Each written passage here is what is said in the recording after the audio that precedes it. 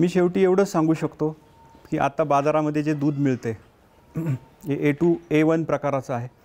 ते फार घातक आहे.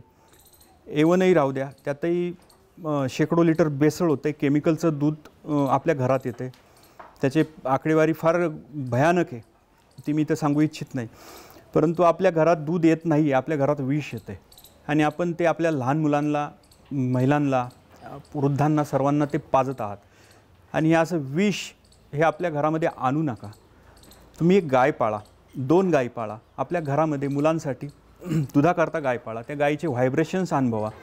तिची एनर्जी अनुभवा. तिचा ऑरा अनुभवा. आणि जो काय आनंद मिळतो हा स्वतः तुम्ही अनुभव घेऊन नंतर आमच्यावर विश्वास ठेवा. म्हणून अगदी तुम्हाला कळकळीची विनंती आहे एकतरी गाय पाळा.